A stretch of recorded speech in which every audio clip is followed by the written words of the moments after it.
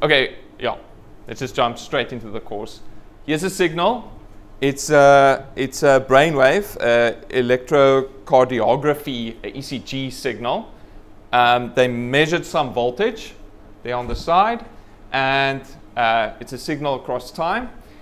There's this weird kind of wiggle on the signal that I want to get out. I know I don't care about it. I want this kind of the, the big, the big wave. Um, that's what I want to get out of this, this signal. I want to process the signal in a way so that I smooth it. How would you do it? So the one option is to do what you and you kind of said, is to use a low pass filter. We generate the signal, we go into a lab, and we build a low pass filter. This is a picture of a Sallen key circuit that is a low pass filter. I looked it up on Wikipedia. Um, and it looks like this. So I need to go in and I need to weld this circuit together and then I have a low pass filter. Then I need to go back and I need to generate this signal in some way and apply it, you know, to this little port on my low pass filter. Okay, and then I get something out that's smoothed. Okay, quite a bit of pain and suffering. Even, even your thing of getting a capacitor, I need to go to the third floor lab, find a capacitor. Oh, and they don't allow me to actually go into that lab because I can't solder. They only allow me to teach programming and math courses. So I'm not even allowed in there. Okay, so I can't smooth the signal. Okay, cool. You guys have all proposed um, wonderful things. And that is the right answers for uh, if you've done a course in continuous signal processing. Go and build the circuit, smooth it out. Wonderful. But I'm lazy. I don't want to do that, right? I want to do things on a computer. Okay, and that's actually what we're going to do in this whole course. A lot of this course is going to take what you did in your continuous signal processing courses, and we're just going to program simple programs to um, do very similar type of things, but on a computer. Okay, and when I say on a computer, that also means on a CPU or on a microprocessor in space all of those things are kind of the same. We want to program things in order to solve that, that, those same types of problems. Simple solutions to do this on a computer. How would you do it? Simplest thing. Yes.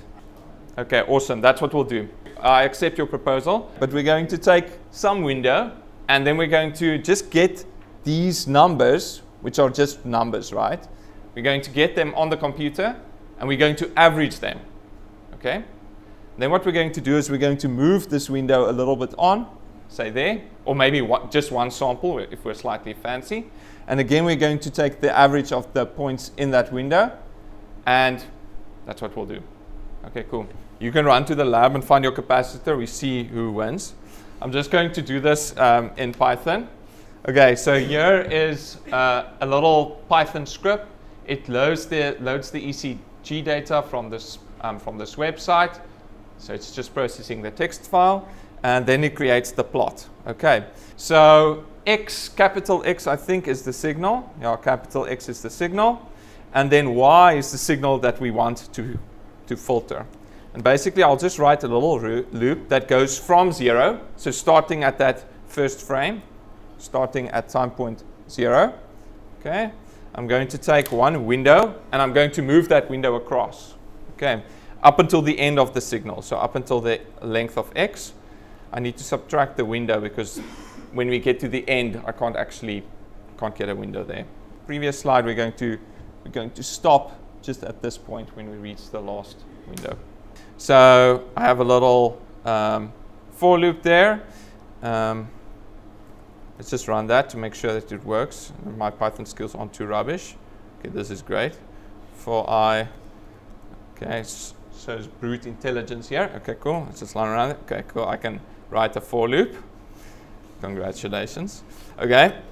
So then what I'm going to do is I'm just going to I'm just going to strip out one part, like a little section of the of the window there. And I'm going to do that is I'm just going to start at the start of the window, which is I. Grammarly auto completes this I and makes it a capital letter. Wonderful.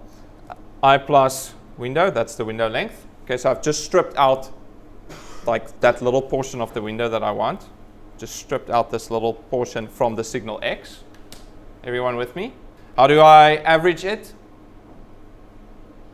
Have you've done Python before? Uh, mean, that's a good guess.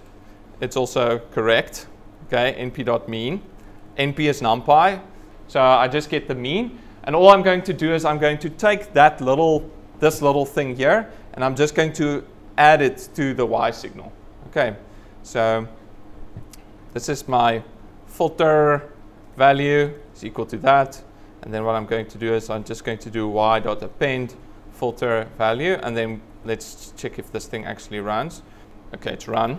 Wonderful. Okay, and then I'll just plot that signal, and boom, we get it out. Okay, a nice, smooth signal. Well done. Okay, digital signal processing solved. Okay, you found your capacitor, you've recorded the signal, but I think I was a little bit faster. Okay, we can also, we can play around with this a little bit, right? What happens if I make the window shorter? What's going to happen? It's going to filter less, that's right. So it's going to be more squiggly, and that's true. It's not as squiggly as the original signal. Well, it almost is. Okay, so it's going to filter less. Um, what happens if I make the window a lot bigger? Right, so this is a window with 50 samples, that's right. And then if I make it 100, we get to your solution, which is to just like ignore life, right? To just say, ignore the signal. I think if we make this 100 or so, then we lose some properties. Okay, and what we'll actually see in this course is that what I just did, even the simple, the let's just get the right one, the nice one here, the 10 sample one. This is actually a low pass filter. It's just a digital low pass filter that I could implement in three lines of Python. Okay, so it does something similar to the Sallen key um, circuit, except I could um, do it in code. So that's like super nice and makes me happy on the inside because I don't have to go to the welding laboratory. Okay, is everyone happy? And so in this course, what we're going to do is we're going to do a lot of what you've done in continuous, continuous signal processing, but we're going to do it uh, in computer programs, specifically in, in Python. Um, awesome.